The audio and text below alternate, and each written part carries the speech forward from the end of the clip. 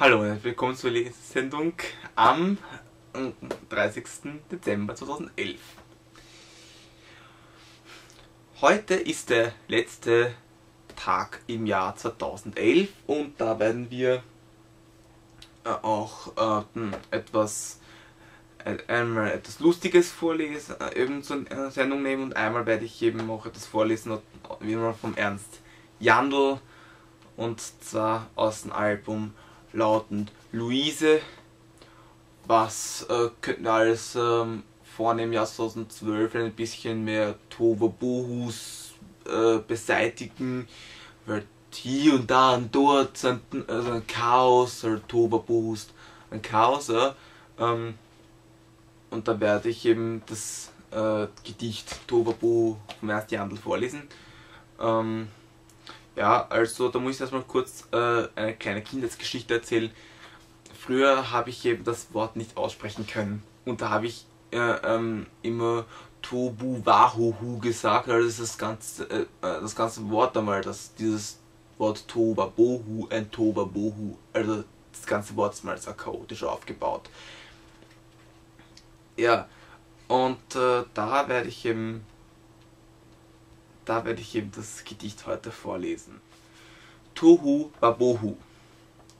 Hu, Bo, Hu, Bo, Hu, Bo, Otto, Bo, Otto, Bo, Oho, Bo, O. Baba, Baba, To Baba, To Baba, To Baba, Tohu Baba.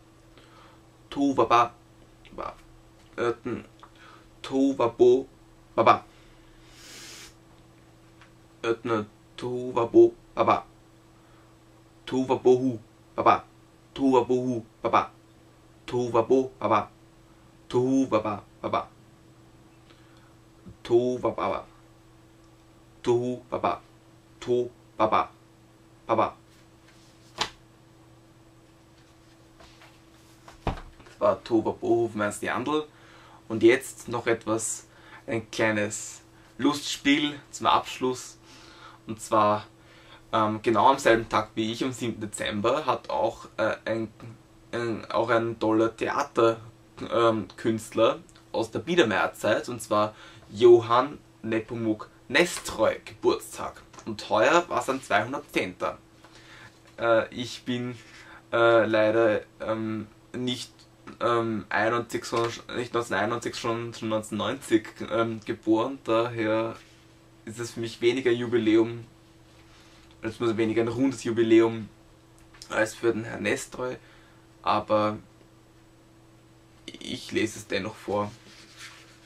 Denn lustig ist es auch schon, man muss nicht mal wirklich sehen, äh, Oh, äh, es reicht einfach, wenn ihr euch das äh, Reklamheftchen kauft und äh, ihr, habt das zum Lachen. Also, Johann Nepomuk-Nestro ist einfach einer, der Leute zum Lachen bringt. Mit einem kleinen Hauch Gesellschaftskritik. Ja, und ich lese einfach den, den ersten Aufzug vor. Ähm, Zimmer in Herrn Zanglers Hause die allgemeine Eingangstüre im Prospekt, jedoch gegen die rechte Seite, links am Prospekt ein ziemlich breiter Ofenschirm. Rechts und links eine Seitentüre mit äh, zu beiden Seiten Tisch und Stuhl.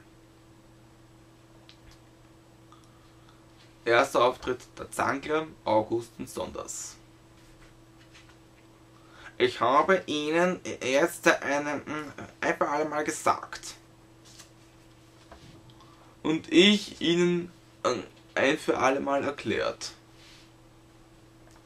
dass sie meine Nichte und Mündel nicht kriegen. Dass Marie äh, äh, die meine werden muss. Und das werde ich zu verhindern wissen.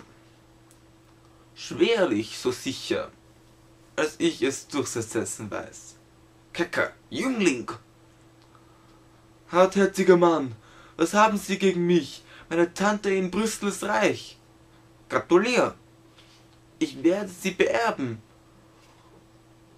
Aber wann? Sonderbare Frage. Nach ihrem Tode. Und bis wann wird, wird sie sterben? Aha, da stockt die Antwort. So eine Tante in Brüssel kann leben, solange sie will. Das wünschte ich ihr vom Herzen, denn ich weiß, dass sie auch bei Lebzeiten reichlich zu meinem Glück äh, beitragen wird. Reichlich beitragen? Wie viel ist das in Brüssel? Reichlich beitragen ist hier das unbestimmte Zahlwort. Was, gibt, was es gibt und in unbestimmter Zahl schließe ich kein Geschäft. Und kurz und gut. Ins Ausland lasse ich meine Mündel schon durchaus nicht heiraten. So heirate ich sie und bleibe hier. Und derweil hat mir schnappt dort ein anderer die Erbschaft weg. Äh, das wäre erst äh, gar was Wahre. Mit einem Wort, gehorsamer Diener, plagen Sie sich auch nicht so, zu sehr mit unnötigem Herumspekulieren um mein Haus. Meine Nichte ist heute äh, früh an Ort äh, ihrer Bestimmung abgereist. Wem rief fort? Ja, das Dings da.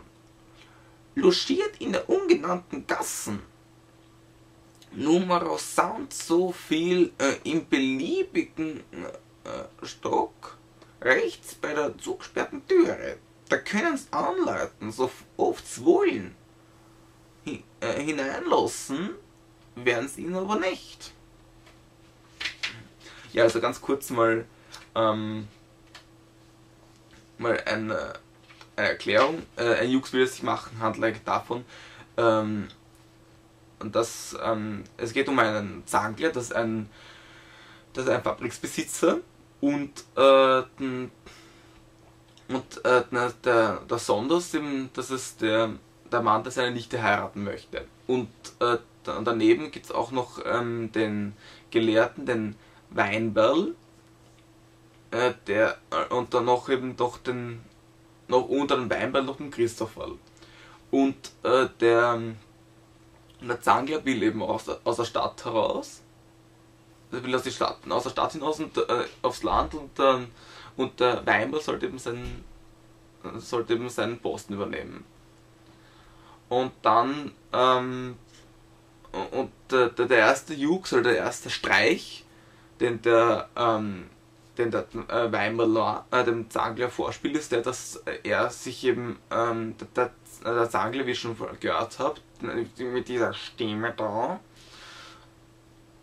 Der Zangler ist eher ein, also ein hartherziger Mann, der, der ist eher sehr streng und alles muss so geordnet sein. Und der Weinberl, der ist eher also ein Gelehrter, der, der habe ich leider nicht vorgelesen.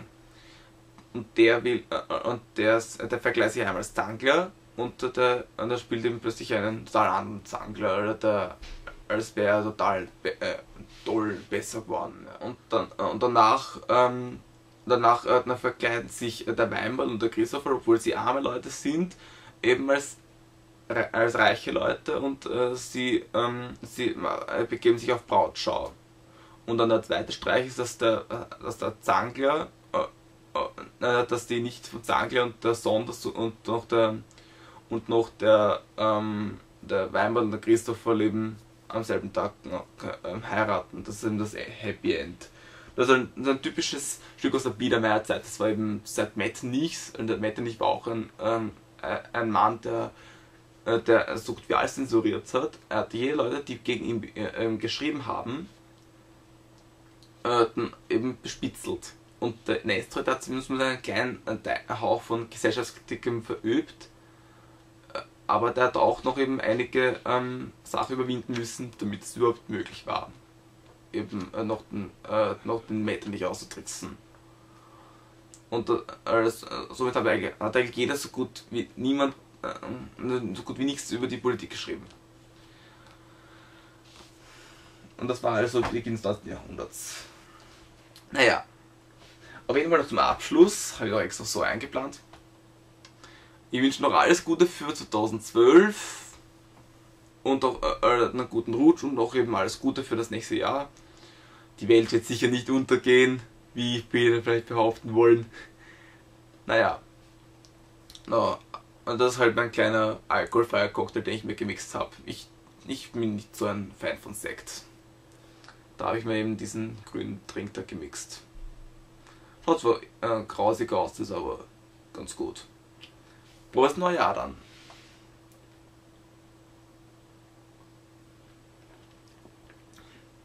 Und wir sehen uns erst dann wieder, wenn wir gerutscht sind im Jahr 2012. Bis dahin dann, auf Wiedersehen.